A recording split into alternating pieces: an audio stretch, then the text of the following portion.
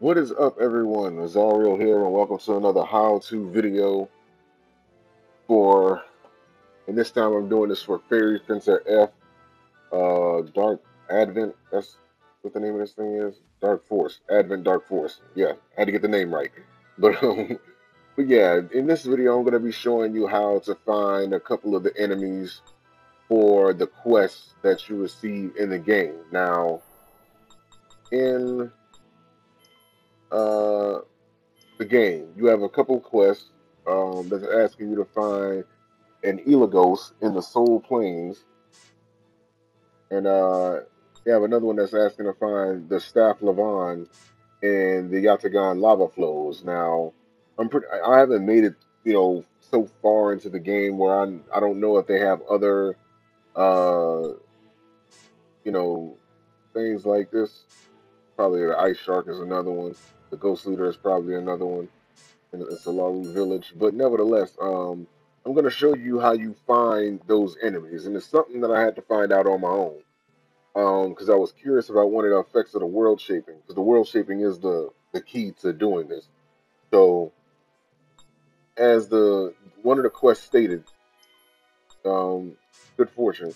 The Staff Lavaan is uh, found in the Yatagan lava flows. Now, when you look at the Yatagan lava flows, obviously they have the enemies listed. You don't see the Staff Lavaan there. You see the regular Lavaan, but you don't see the Staff Lavaan there. So what you want to do is, in order to find the Staff Lavaan, you want to go to one of your uh, Furies that has a fairy in it, that has the the changing the change enemies uh, effect, and you want to stab that dungeon with the fork. Now, I noticed before there wasn't a Staff Lavaan there.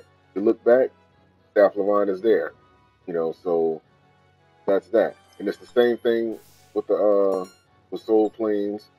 You know, make sure you change enemies, stab it, and there's that monster there. Now, I want to do this in the video because I think I need to find like an ice shark or something like that. Yeah, there, cave shark. If I change enemies there, will I show up?